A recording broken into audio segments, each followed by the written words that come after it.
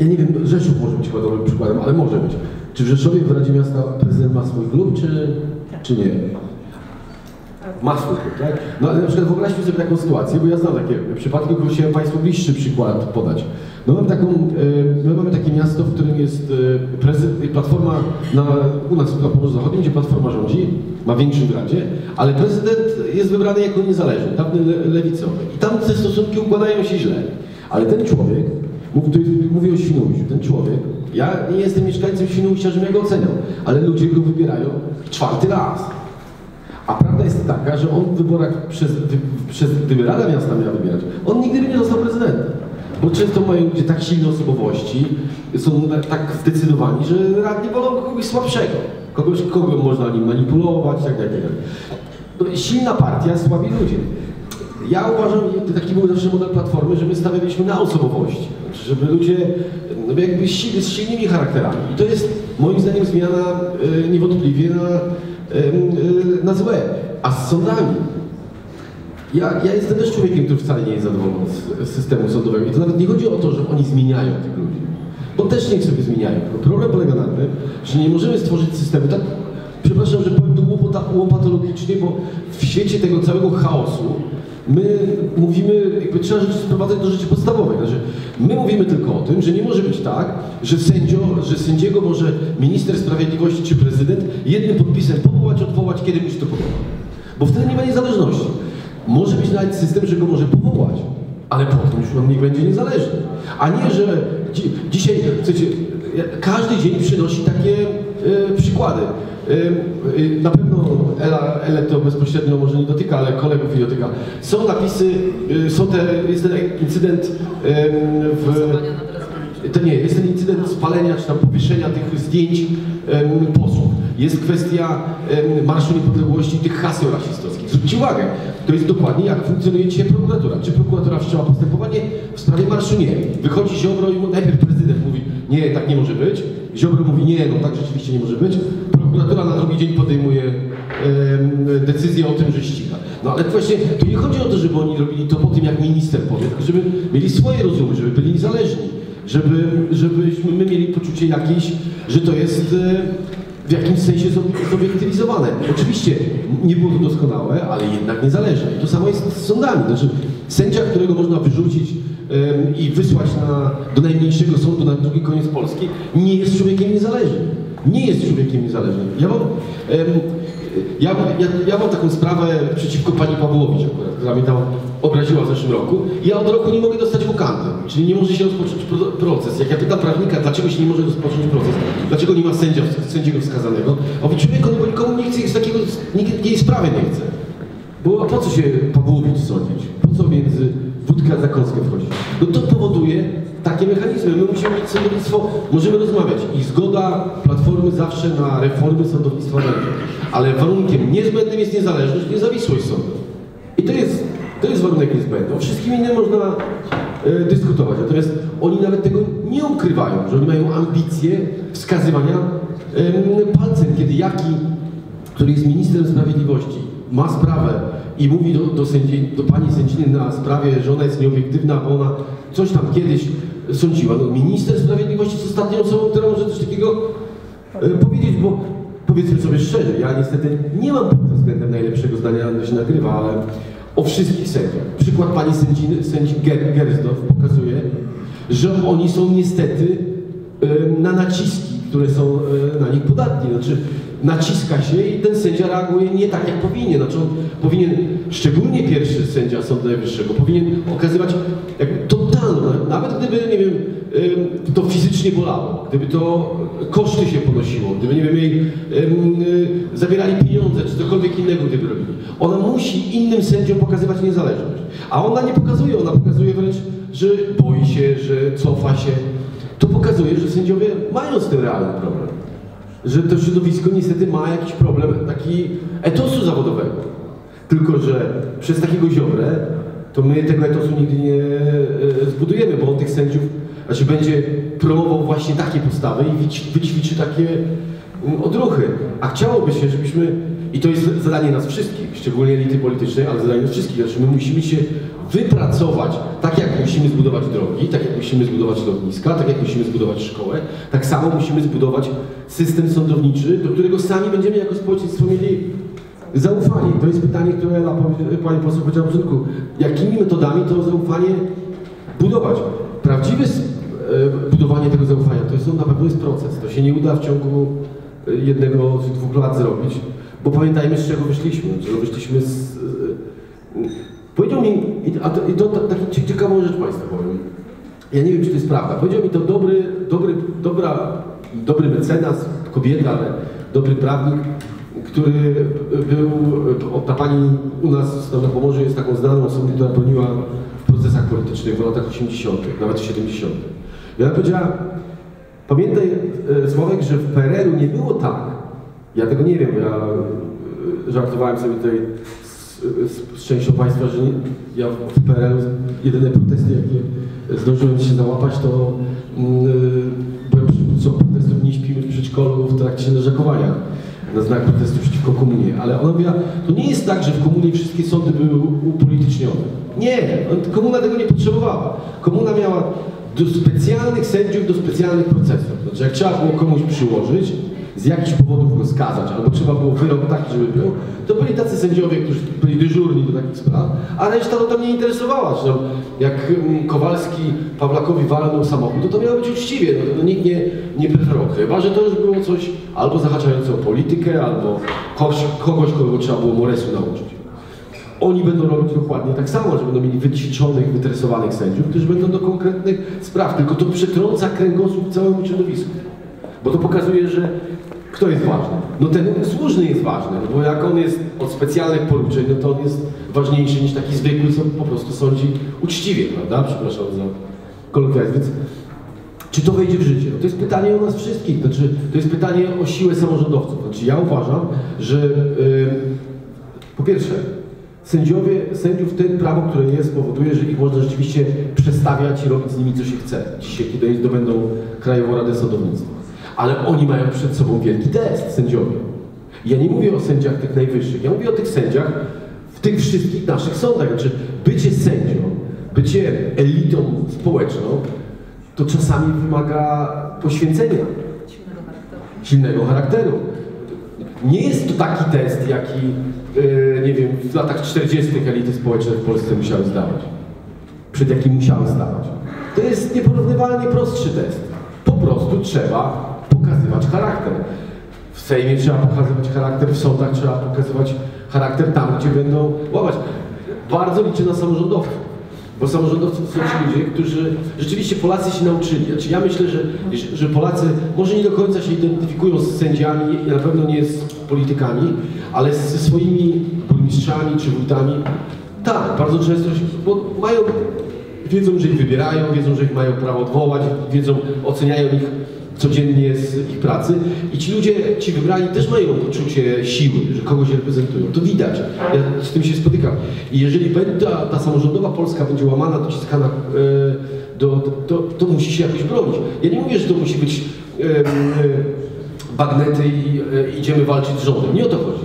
Bo można inteligentnie wygrać. Można tak wygrać, żeby się nie dać złamać, żeby się nie dać zdominować nie, nie każdej nie tej władzy popisowska, żadnej, która próbuje odebrać pewne e, samorządowe kompetencje, bo siła Polski, sukces Polski, i to nie jest tani, tanie, tanie zdanie, które w tej chwili powiem. Sukces Polski polega na tym, że zaangażowaliśmy wielu ludzi w takie podejmowanie decyzji, że, że, że ludzie, też nie za, to nie jest tak, że wszyscy, ale że znacznie więcej. Ja pamiętam, Państwo pamiętacie też czasy, kiedy wojewoda decydował o kto jest dyrektorem szkoły, kto jest dyrektorem szpitala, jaką drogę budujemy, co robimy.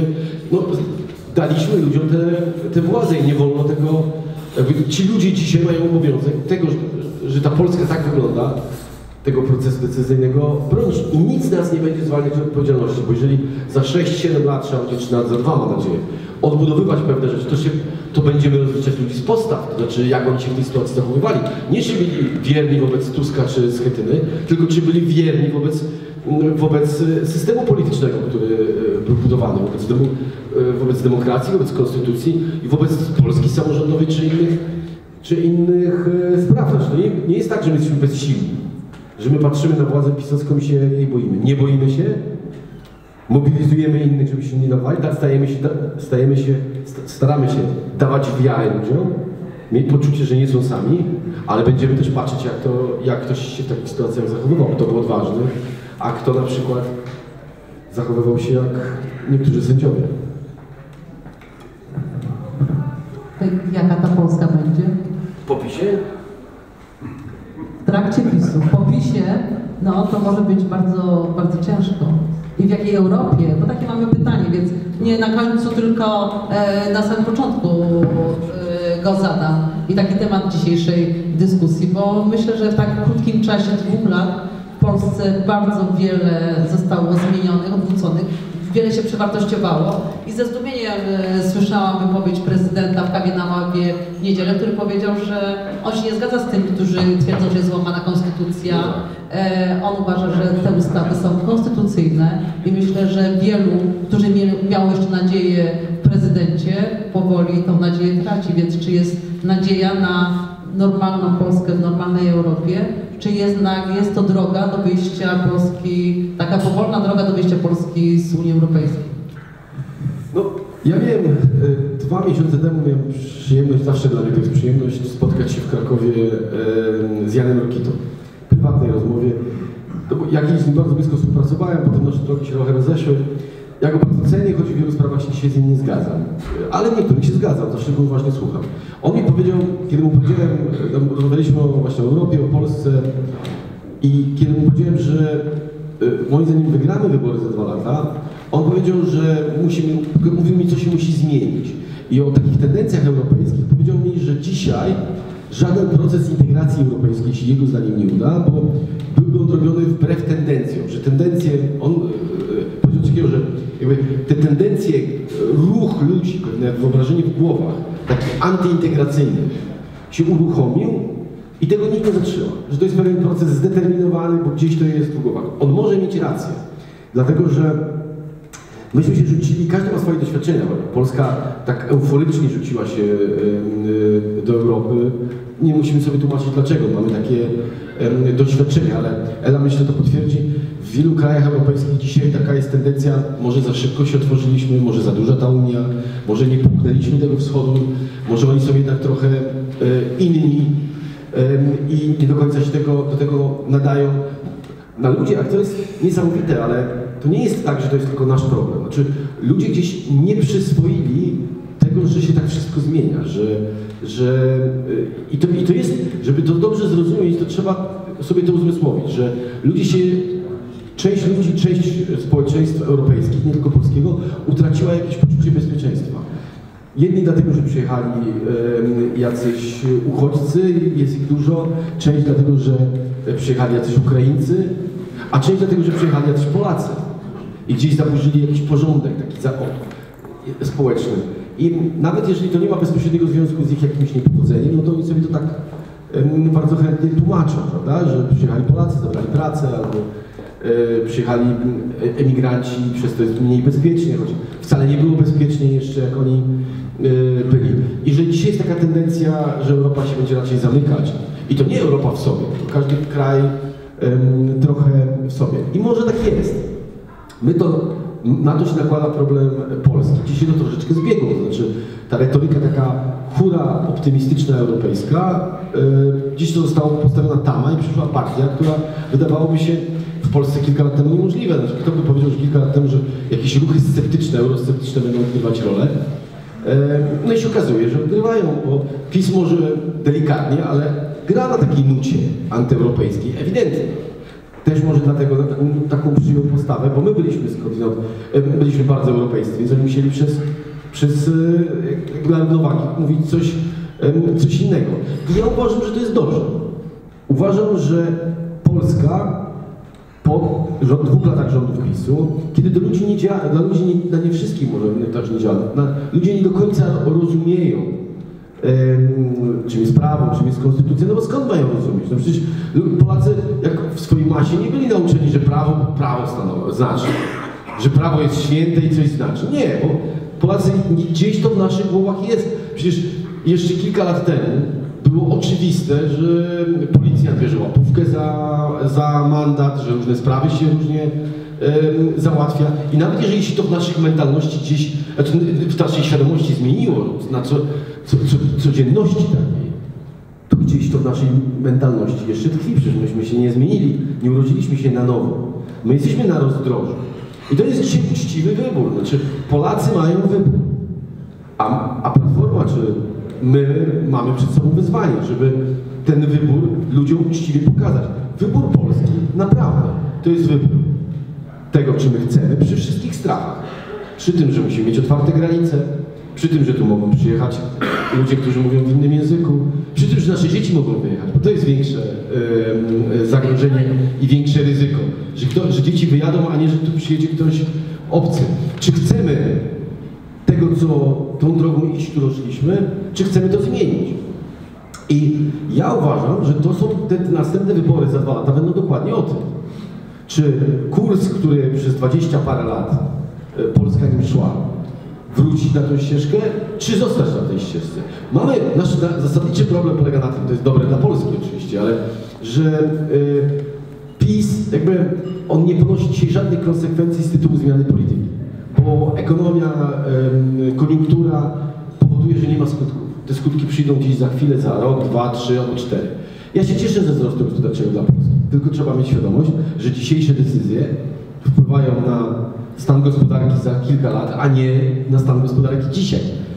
Na stan gospodarki dzisiaj, jeśli coś wpływało, to wpływały decyzje sprzed kilku lat.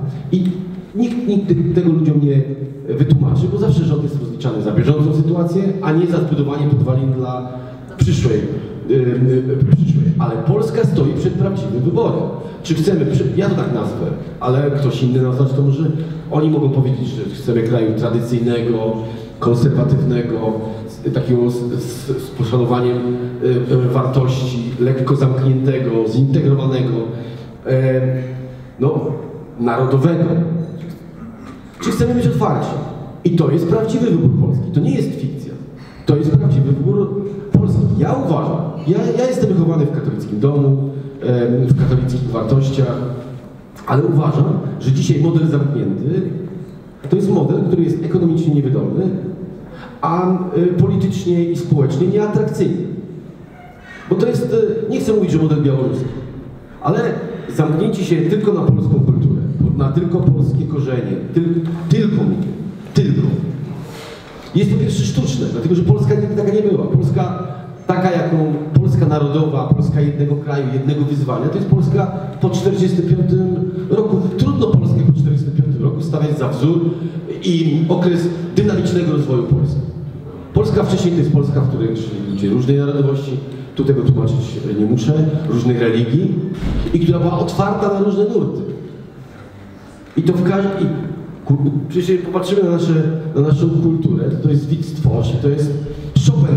Ja nie mówię, że oni nie byli polscy, ale oni byli źródłem pewnej jednak em, kulturowej wymiany, pewnego fermentu, a nie takiej, za, takiej na, naszości, polskości, tylko polskości.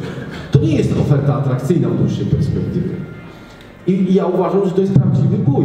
Od czego on zależy? Moim zdaniem zależy od tego, jak, na ile my jesteśmy w stanie poważnie sformułować ofertę. Na ile jesteśmy w stanie Polakom atrakcyjnie ten, u- ten wybór uczynić. Nam się to udało. Było łatwiej.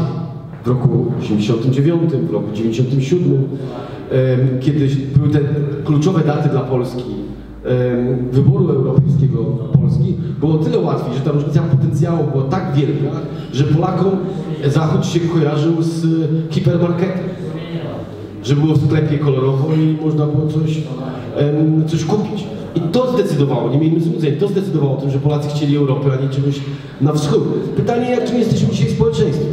Ja jestem optymistą, dlatego że jak patrzę na polskie społeczeństwo roku 2000, czy nawet 2007, kiedy był pierwszy taki opór przeciwko PiSowi, to dzisiaj ta ilość ludzi świadomych, wykształconych jest dużo większa. Ja jestem spokojny. tylko potrzebne są dwie rzeczy. Potrzebna jest uczciwa oferta, ludzie wiarygodni, ludzie, którzy umieją przedstawić rację. Przez mikrofon ciężko przegadać. E, ludzie, którzy, i którzy są społecznie akceptowani. A z drugiej strony, i to jest nasza, nasza rola, musimy zaproponować taką, taki pomysł na Polskę i takimi ludźmi pracować, e, takich ludzi przedstawić jako alternatywę, żeby to się udało. I, I gdzie jestem optymistą po raz trzeci? Jak patrzę na przykład na, na to, co się dzieje w Warszawie, to wiem jedno, że e, gdybym ja miał wybór e, kilka lat temu, i nie mówię tego w kontekście afery jakiejś, i, tylko generalnie, jak pomyślę, że Platforma e, dzisiaj wystawia Trzaskowskiego w Warszawie, a umówmy się, Warszawa to nie jest tylko prezydent Warszawy, to jednak jest coś więcej. To to są dokładnie takie twarze, jak ja uważam, że ta demokratyczna, liberalna, europejska Polska musi pokazywać. Jeżeli będziemy pokazywać ludzi dobrze wykształconych, ludzi normalnych, otwartych, normalnych, nie jakieś produkty, sztuczne twory, tylko ludzi normalnych, dobrze wykształconych, wiarygodnych, znanych w społecznościach i mających pomysły, to ja jestem spokojny. I ostatnio gdzieś powiedziałem i mogę to powtórzyć. Uważam, że takich trzaskowskich różnego rodzaju, większych, mniejszych, w, Polsce jest bardzo dużo. Bardzo dużo. Rolą mojej partii tych ludzi dawać na pierwszy yy, plan. Wtedy będzie bardzo dobrze. Bo to są ludzie, którzy jestem pewien, są w stanie zaproponować coś pozytywnego Polsce. Przejdźmy do pytań. Proszę Państwa, absolutnie. Mikrofon jest Państwa. Proszę bardzo. Pytania. Proszę. Słyszymy, więc może Ponieważ Państwo nie skupili praktycznie na sprawach krajowych, a spotkanie dotyczy jaka Polska w jakiej Europie.